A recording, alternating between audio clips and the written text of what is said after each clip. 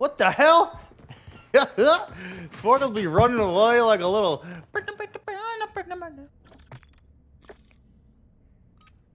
Hey, want to take the ladder?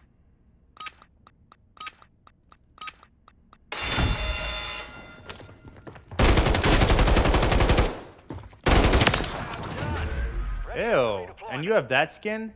You should be ashamed of yourself.